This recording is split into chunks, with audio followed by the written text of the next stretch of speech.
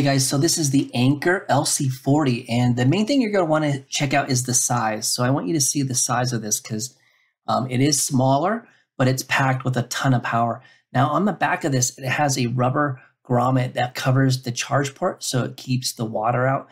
But what you want to do to turn it on is you can cycle through different settings. So the first click will be high beam, then it goes down to a little bit lower and then lower. So there's three different brightness settings and then it'll go into a strobe and then the final setting will be the SOS.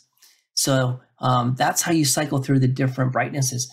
Then uh, if you don't want to cycle, what you can do is if you just do a long press, it'll actually just turn it on. And then if you want to turn it off, you do another long press, just hold it down and that'll turn off.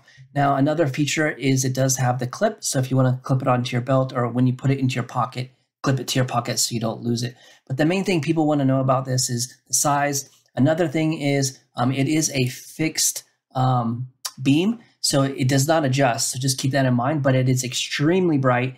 Um, I keep this in my truck. It is my back my backup light that I eat that I keep in case I break down or need some extra light at night.